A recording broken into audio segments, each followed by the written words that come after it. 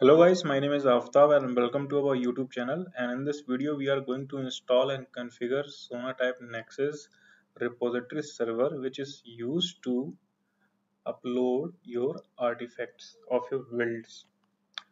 So easily you can uh, integrate this Sonatype Nexus repository server with your Jenkins and other CI tools so let's talk about the installation process. So in our first step we need to update the system.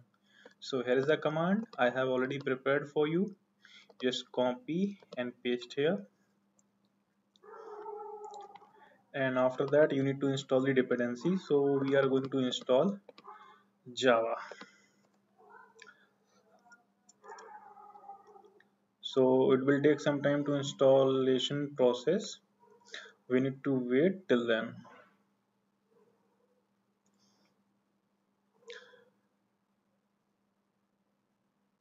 So that package has been installed and after that we need to download the nexus repository.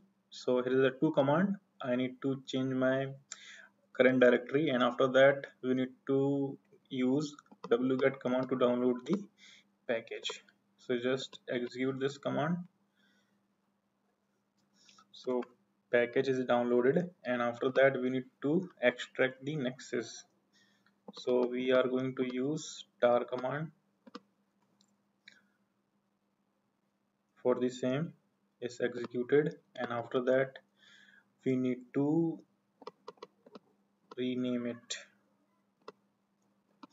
In opt directory it's done.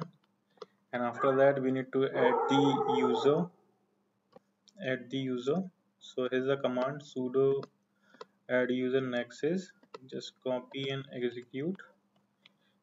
And after that we need to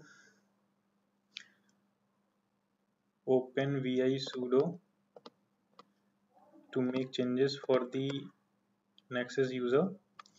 And after that we need to add this theme no password required just copy. And come down here. And you need to paste just like that.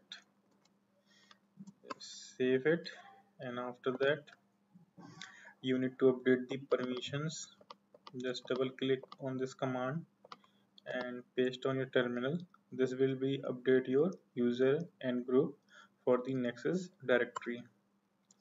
And after that we need to execute second command for the same for the different directory sonatype work. And after that we need to work on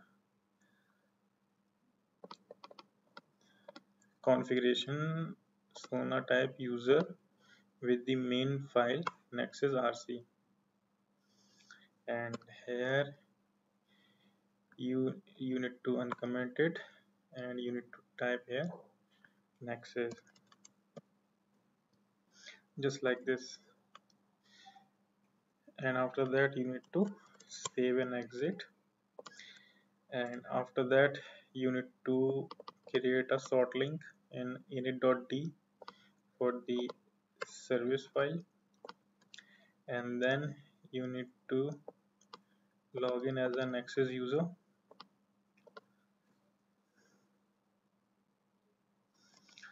actually we did not save the password. We need to as, log in as a root user and su nexus and after that we can start the service by using this command. So nexus is starting and after that we need to verify the port. So here I mentioned it will take 5 minutes for the 8081 so what we need to do? We need to execute this command to get the port number.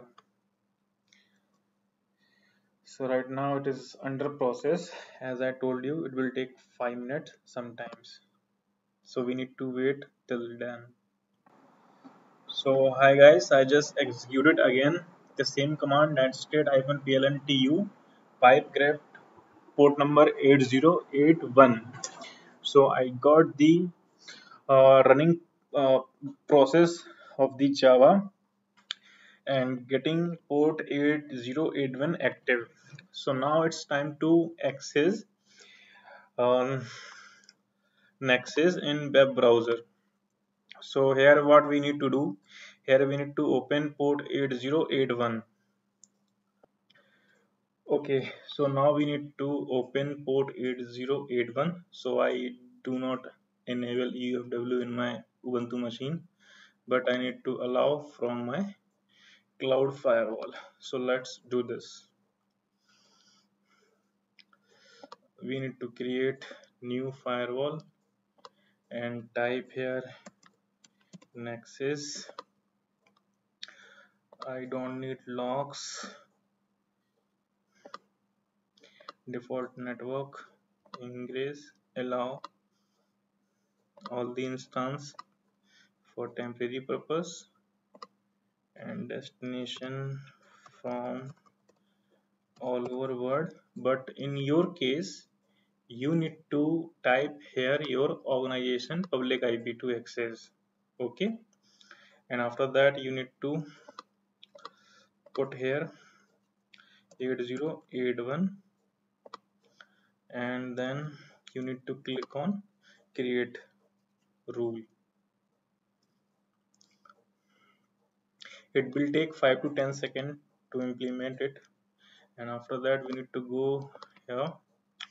And we need to access using this so we need to get the public IP of your machine.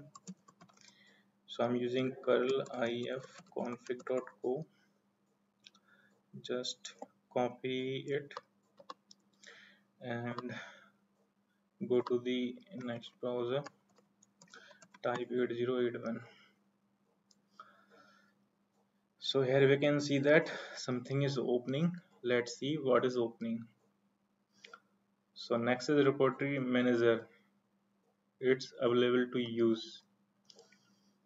I hope you will like this video. Please like and subscribe my channel. And i will share this article link in description. Thank you for watching this video